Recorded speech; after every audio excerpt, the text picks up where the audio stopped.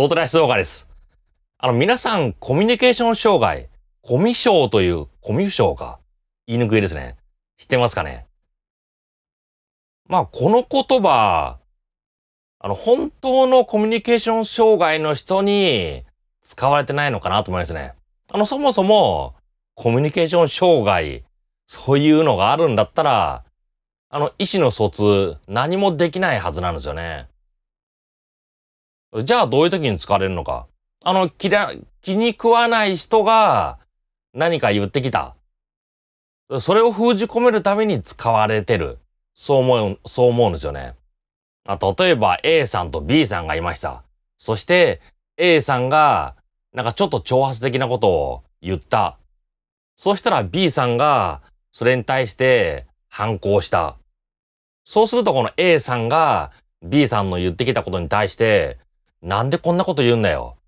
お前コミュ障コミュニケーション障害じゃないのか。なんかそういう使われ方なんですよね。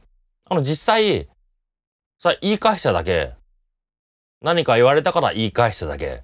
それに対して、あの、ちょっとこの中で立場が強い A さんという人が、あの、B さんに対してコミュニケーション障害だ。そういうふうに言う、言うことが多いなって思いましたね。あと他には A さん、また A さんと B さんがいます。それ A さんが何か言った。そしたら B さんは何も言わない。でも仲間内に、あ、え、え、えってやつなんかこんなこと言ってたよ。っていうことを仲間内で言って A さんには返さない。そしてその B さんの人がその A さんに対して、なんか変、あいつ変なこと言ってるな、コミュニケーション障害じゃないのって。なんかこれ考えると、この本当にコミュニケーション障害と言ってる人、騒いでる人、そういう人が、あの問題あるのかな。そういう人こそコミュニケーション障害なのかなって思いましたね。は、何回かコミュニケーション障害って言ってると、なんか口が回るようになりましたね。まあなんか、言いにくい言葉ですよね。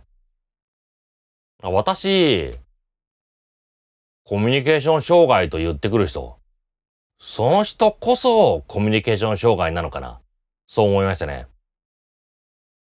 まあ他には、なんか話してて、言葉のキャッチボールできてないなとかって、いきなし言ってくるやつ。それも、あの、キャッチボール中に、あの、真剣にキャッチボールしようとして相手のこと、相手のボールを受け止めずに、もうあいつキャッチボールできねえなとかって、なんか、言い出す。だからなんか、そ、変な言葉言い出す人、コミュニケーション障害だって言い出す。言葉のキャッチボールできないなって言い出す。言い出す人ほど、コミュニケーションなどを放棄してる。または本当にその人が障害なのか。そう感じますね。まあ、どうだろう、あの、私から見て若年者に多いんですよね。あの、Facebook で何か言う。そうすると一向に何も返ってこない。でも実はその内輪でなんか言ってた。なんか本当にムカついたんだったら返せばいいだろうって、そう思いますね。まあなぜそれができないんだろう。別に私が言ったことに対してそのまんまダイレクトメッセージとかそのメッセージのリプライとして返す。もう何も怖くないですよね。私、私のこと文句言ったからといって、世間に叩かれることもないと思うし、それが嫌だったらパーソナルメッセージで送ればいいと思う。まあなんだろうね。まあ、いろいろ文句ある人、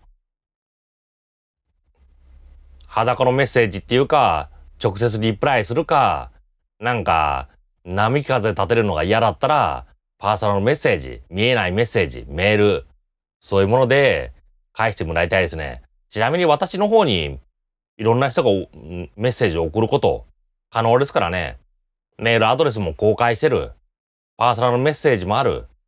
YouTube、Facebook。